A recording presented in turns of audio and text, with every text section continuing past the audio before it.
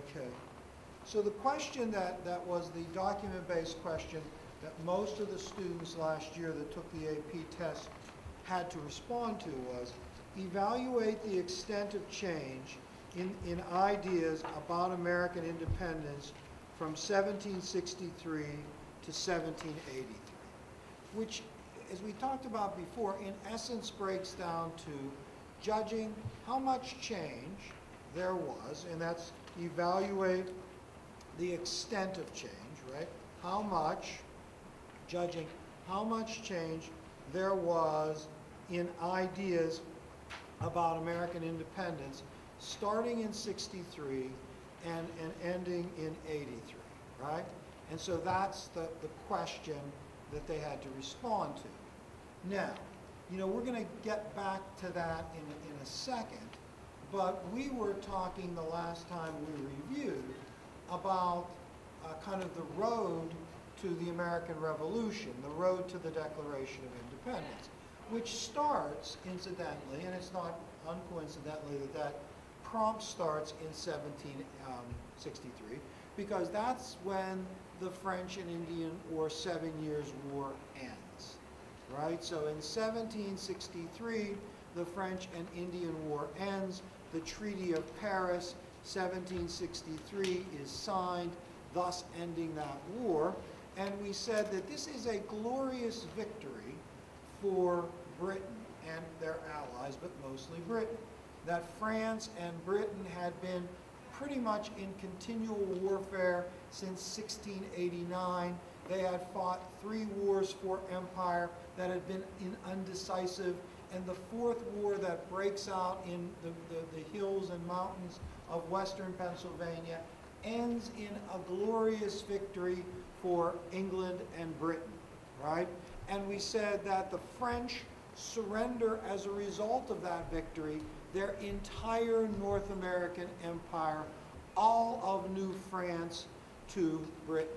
Now, um, among other possessions across the globe, that France is badly damaged and badly beaten in this war, and Britain comes through victoriously. However, we pointed out to the kids in our conversation that as a result of that conflict, Britain is going to have some substantial challenges. And largely it is protecting, right, maintaining, controlling an empire, a vast empire that's spread across the globe. Britain was never as powerful as they were in 1763 with this massive empire. A navy that was necessary to keep it connected with the mother country of, of, of Britain, right, was going to be necessary. Um, and so controlling and, and, um, and protecting that empire was going to be one challenge. The other challenge was going to be maintaining it financially, right? Paying for the defense of that empire, paying for the maintenance of that empire, and paying the debt that they had acquired in acquiring that empire in the first place. And as a result of that, Britain is going to reevaluate its entire colonial policy. Remember, Britain, like the other empires of the world, had a mercantilistic system where they passed laws and rules that were, um, you know, intended to, to, to enrich the mother country at the expense of the colonies and to promote a favorable balance of trade. You know, so mercantilism, you know, suggested that the economic activity of the empire should be orchestrated by the empire for the good of the empire right? And so, so they had, they had, they had had that system, but had very loosely enforced it through salutary neglect. Now they were commit, committed to tightening it. And we talked about their first attempt to do that. Their first attempt to do that, you know, centered around the Stamp Act. Now, some of you rightly pointed out that, you know, they had the Sugar Act in 1764, and the Currency Act and, you know, other pieces of legislation that were part of that. You know, the Proclamation of 1763, you know, which, which, you know, painted that line through the Appalachian Mountains was an attempt to control their empire. But they made through George Grenville, the prime minister, an effort to, to, to get their empire under control and pay their bills and to bring the, the, the British colonies in North America, their largest and most prosperous, into a different relationship economically with the mother country. And the Stamp Act is the single, you know, is the symbol of that effort. Here we're going to collect dollars from our, our colonists that will be used to protect and maintain the empire in North America that they're a part of. And they should be willing to contribute to this. Now, we talked about why the American colonists were not. They viewed the Stamp Act and other attempts to generate revenue with ta taxation as a violation of their natural rights. And so we talked about Otis, and we talked about his arguments against the writs of assistance. We talked about Otis and his arguments against taxation without representation. We talked about the backlash against the Stamp Act, which was the most apparent backlash. I mean, was there backlash against the proclamation of 1763? Sure. Was there backlash against the Currency Act or the Sugar Act? Or, or yes. But the backlash against the Stamp Act was colonial-wide, right? You know, it was from you know, New England down into the southern colonies. There was widespread protest, particularly in port cities, against the Stamp Act. The Stamp Act Congress actually forms. You know, there's the, you know, the, the, the formation of a colonial boycott, you know, non-importation agreements that are enforced by vigilante organizations called the Sons of Liberty. There are mob attacks against people who participate in collecting the stamps in a lot of major cities, particularly Boston. And the backlash against the Stamp Act is significant. Now, the British backed down. They backed down, they repealed the Stamp Act largely because non-importation has a big impact on British merchants, right? So the America, uh, the American colony's biggest role for Britain was it was a market. It was a place where British products were sold. And Americans recognized that that role was important, and non-importation, a refusal to buy British products, was devastating. And so Parliament is going to feel pressure to back away from that because of non-importation, which was really vigorously enforced by vigilante groups like the Sons of Liberty, right? And so they backed down, repeal the Stamp Act, pass the Declaratory Act, which basically says that, look, Parliament is supreme in all things, right? You know, the Parliament is supreme in all things. And we mentioned at the time that although the colonists are going to celebrate the repeal of the Stamp Act and not really challenge Parliament's proclamation of supremacy, that in essence it was that proclamation that would lead to eventually the revolution. Because what the colonists are going to argue is that there are some areas where Parliament is not supreme, right? That Parliament has the authority to pass legislation for, that, that influences them in some areas, but not all areas. And one area that they did not have the authority to pass legislation in was that of taxation for the purpose of generating revenue, right? But, you know, the, colonial Americans considered the repeal of the Stamp Act a victory. Parliament passes the Declaratory Act to, to, to solidify their, This, the, the, the, what follows is a second attempt to generate revenue from colonial Americans, and that was the Townshend duties that are passed in 1767. Now, does anybody remember how the Townshend duties were different than the Stamp Act. What was the nuance of the Townshend duties? You know, what were they, what were they intended to address? It was, remember, Champagne Charlie Townshend, who was the, um, you know, that kind of really had the power. There. I don't know if he was the prime minister or the ex, exchequer, you know, of, of, of Britain, but you know, he try, he says that he's going to be able to pull this off. Why? What were the Townshend duties? Yes.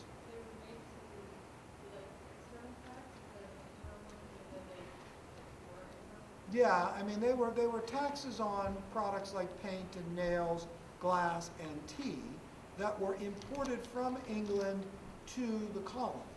and they were basically tariffs, right?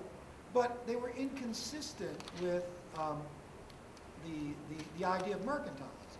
The idea of mercantilism is you want your, your colonial possessions to buy products from you, so you should put tariffs on French products or Dutch products or, or products from other countries to discourage buying from them, but not tariffs on your own products, which, which, which the colonists were forced to buy.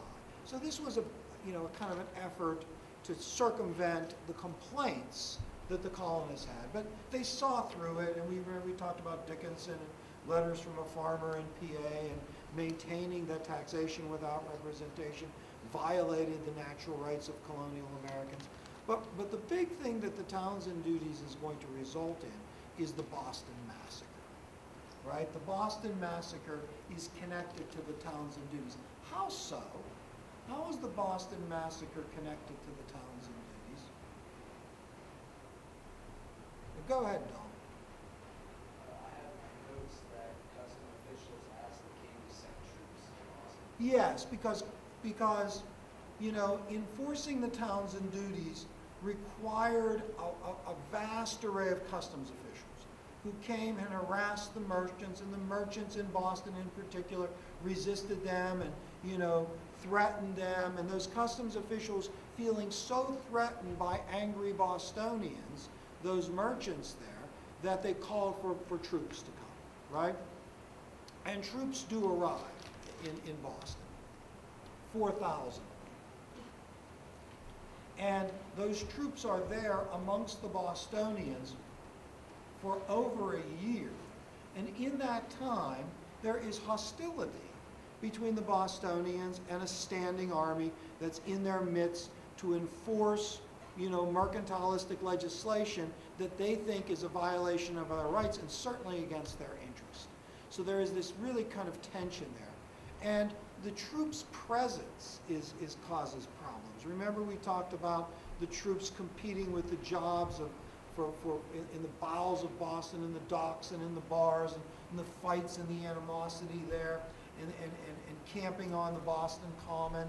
And, and, and, you know, it was a matter of time before an incident occurs, and it occurs in March of, of 1770, where British troops, feeling menaced by an angry mob, right in front of the customs house, fire into a mob of Bostonians, killing seven Bostonians. Blood is shed in what Paul Revere refers to as the Boston Massacre. Now, in the aftermath of the Boston Massacre, interestingly enough, there is a period of relative quiet because Britain, unrelated to the Boston Massacre, repeals the Townshend duties on everything but tea, right? On everything but tea for unrelated reasons. Again, it was a colonial boycott that was gaining steam uh, in response to the Townshend duties that had an impact on merchants in, and, and, and manufacturers in England that caused them to put pressure on Parliament to do something. So they, they repeal all of the Townshend duties unrelated to the massacre, right, you know, except for that duty on tea. And then remember, we said there's this period of relative quiet, right? So now, if we go back to the question there, are attitudes about independence changing as this is happening, right? I mean, that's the question. So, you know, you know these events are transpiring. Our attitudes about independence changing, all right?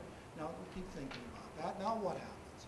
We know in after three years that Parliament passes the Tea Act, and that the Tea Act is unrelated to colonial America, but involves colonial America. It's unrelated because it was really intended to save the British East India Company that was in, in, in, in kind of difficult straits and, and, and their problem was that in the wake of, of attacks on tea, Americans, the biggest customers of the British East India Company, were avoiding British tea.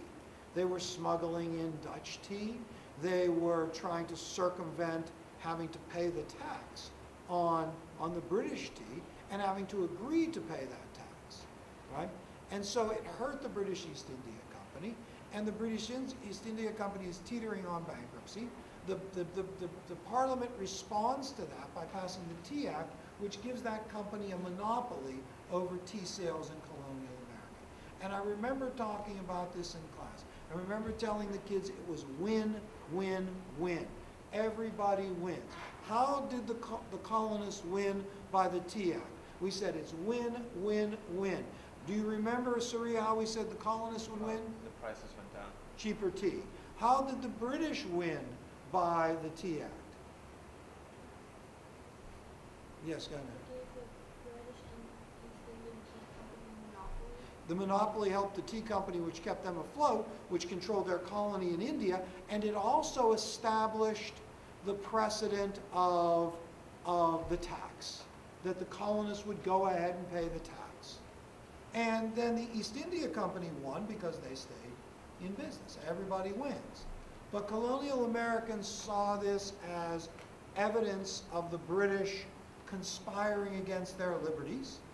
And they respond to the Tea Act by refusing in city after city after city to allow the tea to be delivered, right?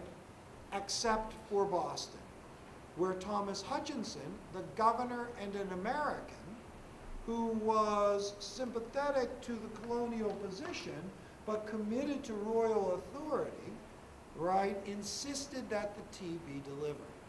Now, you know, it's the case of people like Hutchinson and um, Andrew Oliver and other people who were connected to, to British authority that, you know, um, we talked about uh, Gordon Wood making the argument there that, that, you know, it was, it was those networks of connections where, where there were colonial people who were connected to, to, to British authority and the crown and patronage and other things that ultimately is what caused Americans to rebel, right? You know, and, and remember we talked about Woods in the radicalism of the American Revolution. We talked about Zinn kind of arguing that, you know, colonial Americans were exploited by that, those same people to encourage a rebellion, right? You know, we talked about Nash arguing on some level that uh, colonial Americans saw, you know, the, the rebellious spirit as an opportunity to restructure their relationships amongst themselves, to, you know, the blank slate, right? And Dom, good luck in your rehearsal tonight, right? Um, I don't know if I've ever mentioned it, but I myself was in musical. I, I don't, have I ever mentioned that, Kev? I, I think I may have once or, or twice have mentioned that. Yeah, I, I will myself was, I, I, yeah, I, I've, I've been on the stage, yes. Uh, West Side Story, yeah, I mean, a story of, of love and betrayal. A a- the question, the great question, can love conquer all? Um, you know, I mean, all those came to light in that doc. The drugstore slapped, I slapped Tony in the face. Wake up! Right? Here's how you do it. Yeah, yeah. You know, you have to do it like that. You know, you do the side. Learned that in my acting, in my acting. But it, but back to our conversation, which Kev was going very nicely until Dom went to the stage, right? Um, so we were, we were talking about this and we were saying that, okay, right, the Tea Act elicits this response and ends up in the Boston Tea Party. You know, Samuel Adams and, um, you know, leads the Bostonians in what is considered a red line for Britain, right? I mean, the Bostonians refuse to allow the tea to be unloaded.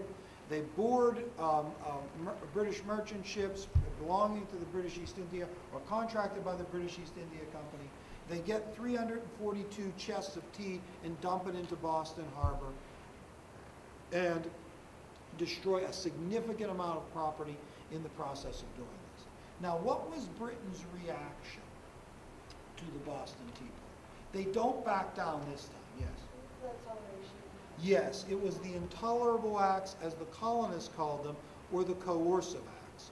Shut down the port of Boston, demand the Bostonians pay back the British East India Company, suspend the town meetings, put Boston and Massachusetts under martial law, you know, show the colonists that we're not fooling around anymore, we're getting tough. And they, the expectation was that colonial Americans would respond by saying, hey, well, yeah, the Bostonians are radicals, they did cross the line, they destroyed private property, you know, they, they deserve this, but that's not the way that Americans respond. This confirms to many Americans, many colonial Americans, that, look, the British are intent on destroying our liberties. If we don't comply with their wishes, they'll suspend our colonial legislatures. They'll take away our rights, our freedoms. They'll control our economy, right? It doesn't have the desired right? The intolerable acts unify much of colonial uh, public opinion. Now, I should tell you that when I say unify, you might be thinking to yourself, well, kind instructor, weren't there loyalists who defended British actions? And, and, and yes, there were. But, but the, the distinction between loyalists and patriots is going to be more largely over independence than it is over actually opposition to British actions, right?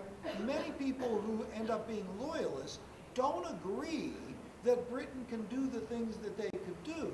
They just don't agree with independence, right? You know, I mean, they say, well, listen, Britain is wrong, but we shouldn't declare ourselves independent. Not at this point. At this point, no one is talking about independence. At this point, the response to the, the Intolerable Acts is to call a First Continental Congress. And that First Continental Congress is going to meet in protest, in unified protest to the British actions of the Intolerable Act, and you know is going to try to organize yet another colonial boycott, right, of British products, one that would be more vigorously enforced than any other one that had been passed, right, and um, also to to encourage the colonists consider arming themselves to defend their liberties, right?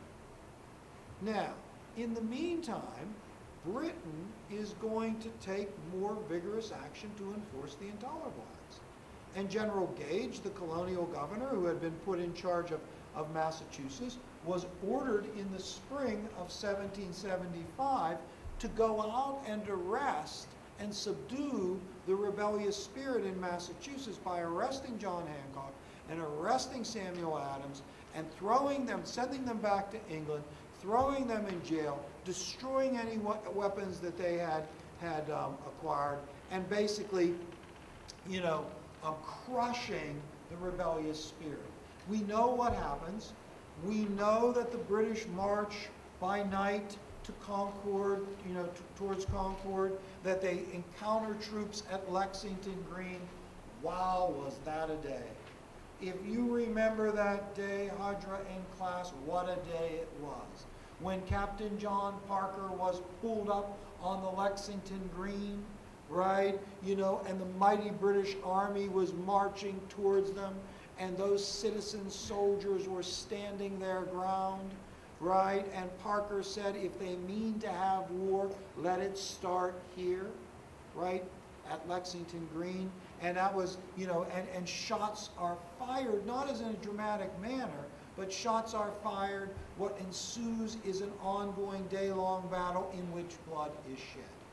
Now we know the following May, a Second Continental Congress convenes. And that Second Continental Congress is going to remain in session basically until the Constitution is ratified. If you think about it, the Second Continental Congress morphs into Congress under the Articles of Confederation. That Congress is the central government of the United States until it's replaced with the Constitution. Oh, what year was that that the Constitution was ratified and, um, and, and, and became the law of the land? And when did the new, was the new government officially launched? in what year. Not that dates are important, but they're kind of important. Go ahead, Kev, tell the kids. I, I'm, yes, go ahead. Dave. Constitution was ratified, was, was, was developed in what year? I mean, um, created in what year?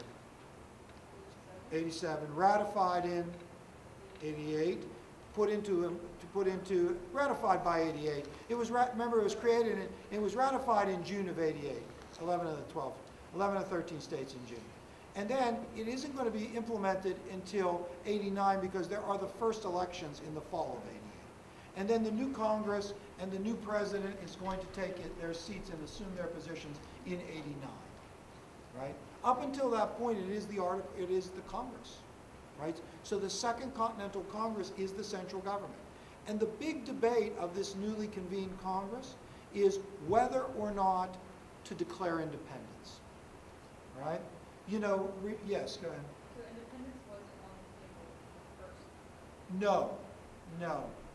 Um, in fact, even in the Second Continental Congress, um, in the Second Continental Congress, Thomas Jefferson draws up the um, causes and necessities of taking up arms, right? Okay, why are we doing this?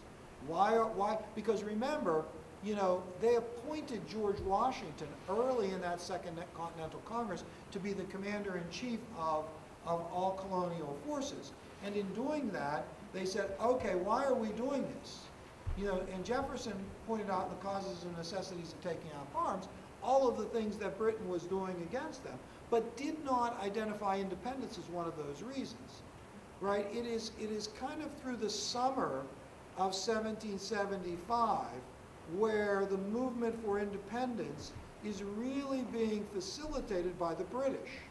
They, remember, there's also, you know, the, um, the uh, olive branch petition that John Dickinson um, wants to send to the king, begging him to stop Parliament from doing what they're doing. And the king rejects the olive branch uh, petition and declares the colonists in a state of rebellion. And then the king hires Hessians in the, in the fall of 1775 in order to come here to America to repress the rebellion. But really, what turns the tide of public opinion towards um, independence? What did we say was the most consequential thing that happens between when that Congress convenes in May of 1775 and in, in July of 1776? What turns the tide of public opinion? Do you remember? Does anyone besides the instructor remember? Go ahead, Carla Common Sense, which is published in January of 1776. Common Sense is this extraordinarily influential pamphlet that is widely distributed and widely read, and that made common sense to colonial Americans that the time for independence was now. And remember what we said, the momentum for independence is going to, you know, is going to, I mean, fighting is going to contribute to that. I mean, the British are going to fight the most, you know, consequential battle of, of, of the war in 1770, not consequential, but the, the biggest and deadliest battle of the war at Bunker Hill in 1775. So the ongoing fighting contributes to hardening, you know, um, the, the colonial position. Um, that, that, that certainly contributes to it, you know, as well. But colonial people are passing their own declarations of independence. The Malden Letter. Remember we said by the time the Continental Congress, this Second Continental Congress, eventually gets to the point where they are going to debate a resolution that was presented to them by Richard Henry Lee on June the 7th, 1776, right, that these colonies are and ought to be independent, that there had been almost a hundred individual declarations of independence by various groups in various places, towns, organizations, and other people that were pushing Congress to, to make this final step. And remember, there was resistance, right? You know, you know, there was no assurance that there would be all 13 colonies would support this movement for independence. It's the middle colonies that are that are resistant to this. It's the Pennsylvanians, the New Yorkers, the, the New Jerseyans, it's the Quakers that don't want to fight that are part of this. But eventually, you know, a committee is, is, is, is, is recruited to draw up a Declaration of Independence. And um, that's just in case the decision is made to declare it, which it is, on, on uh, July the 2nd. On July the 3rd, there is a debate over the declaration. And remember, it, one-third of it was changed from Jefferson, from the committee's original draft, which was largely Jefferson's. I should tell you that, you know, we talked about this in class when we did it, that the authorship of the Declaration as being Jefferson was not widely known until the 1790s, right? Until Jefferson was running for president against John Adams in 17, what would it be, 1796, it was not widely known that Jefferson actually was the primary author because the document was actually produced by a committee and it didn't have a, a primary authorship. And, and, and, and, and in 1796, there were some challenges of, to, to Jefferson and basically said, after all, I did write the Declaration of Independence, right? You know, about, you know, whether he was loyal to the United States or, or whatever. So anyways, um, eventually that declaration is, is, is finalized and ratified. And remember, in it, there are these two competing notions, not competing notions, two separate notions. One is that all men are created equal, that they are endowed by inalienable, you know, with inalienable rights, those being life, liberty, and the pursuit of happiness. The other notion is that the power of government emanates from the consent of the government. To secure these rights, governments are instituted among men, deriving their just powers from the consent of the governed. Right? So equality and self-government become the founding principles of America. Right? Equality, all men are created equal. And self-government, right, you know, the power of government emanates from the consent of the governed, become founding principles. Now, what those things mean are, are, are, are, are really questionable, right? You know, I'm, I'm not questionable, but debatable. You know, how does, how does that look, right? I mean, you know, one of the areas where you could kind of go forward and say, how does that look? How does that look on the eve of the Civil War when southern states are saying, well, look, you know, we feel we have a right to property. These slaves are our property, and they cannot be taken without our consent. And we no longer feel that the government under the Constitution protects our rights, and we want to replace it with one that is more consistent with, with what we believe will protect our rights, right? I mean, and remember we tried to debate this. Is that consistent, you know, with the founding argument, you know, for, for self-government? The idea that, you know, you want a government that will protect your rights? You know, so, okay. Um, you know, um, you know, there, there, there's a, lot of things that you can do there. What time is it? Three twelve, okay. All right. Let's go, um, quickly to, you know, in the next few minutes, back to the question, right? Now, I want you to take a look at, at this, the paper that I gave you. In the paper that I gave you, so get, get them both out, in fact. The, um, the, the prompt with the rubric there, right? And then the paper that I gave you. So if you look at the prompt with the rubric, it says you get one point for a thesis, right? One point for a thesis. And what's the scoring criteria? Response to the prompt with a historically defensible thesis, claim that can establish a line of reasoning, right? Now, if you go to, to the second thing I gave you, it says the same thing, but in the notes section on the right it says, responses earn a point by responding to the question sort of the same thing, line of reasoning, about American independence. Thesis statement needs to de demonstrate some degree of specificity regarding either change or continuity to earn the point. Now listen to two, the two of the examples where the point is earned, right? From 1763 to 1783, colonial ideas about American independence changed from just questioning British policies to calling for revolution.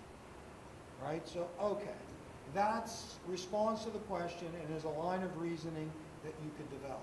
But now listen to the Sean Whelan Memorial second thesis statement, and he's probably sitting up in his desk right now. that's right, right? Now this this this this actually has it all because it says boistered by the by enlightened ideas. Now that is what we called synthesis before, right? Or they're calling that contextualization now. But syn- bo- boistered by enlightened ideas and social pressures, colonists began the road to independence after 1763, transforming their ideals from subjects to citizens. There you go, right? Now, so those, those are two examples of that. Now, let's take a look just really quickly. Go to, go to the documents, just quickly, I promise. And look at the second page where it is document two and document three. Right, the second page there, it says page nine at the bottom. And document two is the Virginia House of Burgess, Virginia Resolve, 1769.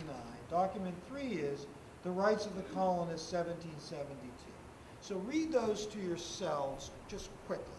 Um, And then I have a question for you.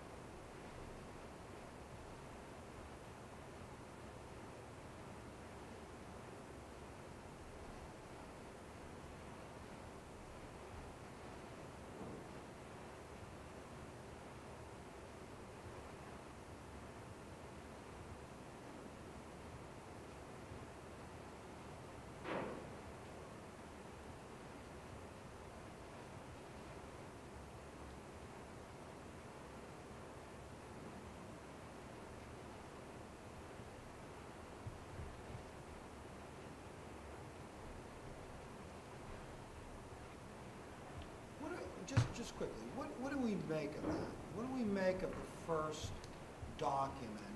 How might that fit in to making any kind of argument about a change in attitude about independence?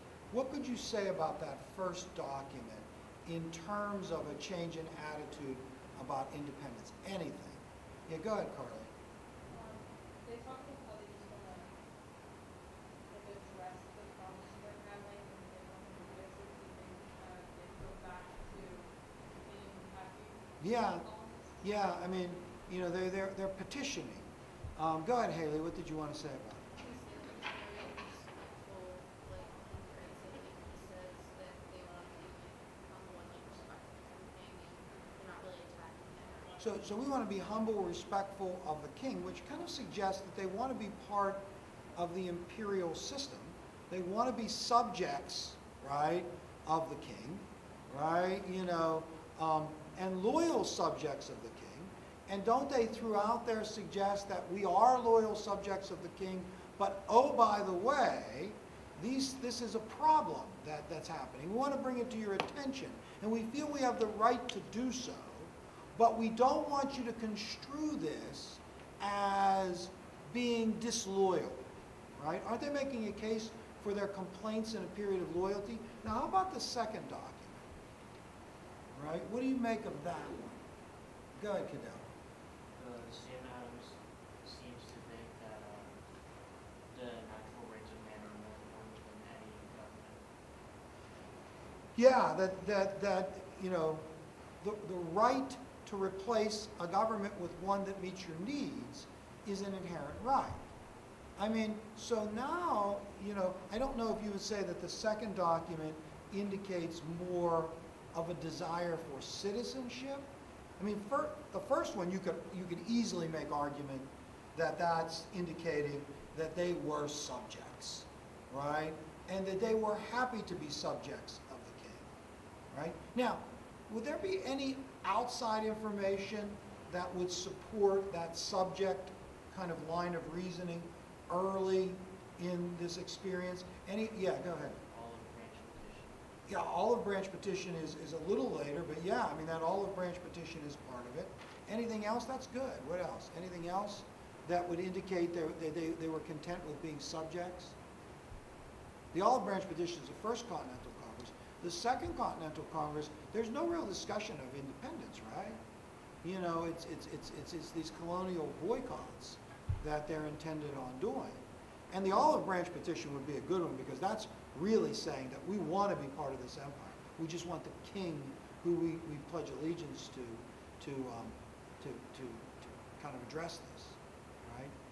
Now, is there evidence of, of citizenship, outside evidence of citizenship? Just quickly, then I promise go. Outside evidence. What, what, what facts might support that? That, that as time went on, you know, colonists were increasingly seeing themselves less as subjects and more as citizens. Go ahead, Haley. Yeah, maybe the Sons of Liberty, right? Yes, go ahead. Oh, yeah, definitely common sense, right? And so, I mean, ultimately, what you're doing with this is thinking about what's in the documentary evidence, thinking about what you know, thinking about what you think, and attempting to make it a case, like you have.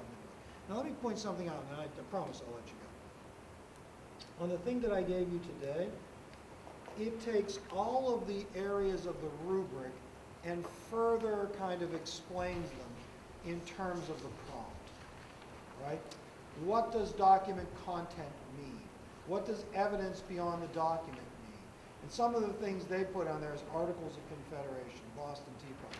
And then lastly, it takes each of the documents and then explains the relevance of point of view, situation, and or audience. And those are the three things that, that they want you to kind of emphasize in, in using those documents for each of them.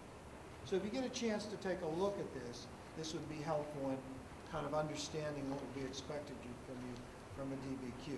Now, I don't know if we're going to go in chronological order next time we meet. I might think of another topic because, um, you know, I mean, we could keep going, you know, but, but, but, and I think we did a good job on the road to the revolution, but I think we could think of a, another topic.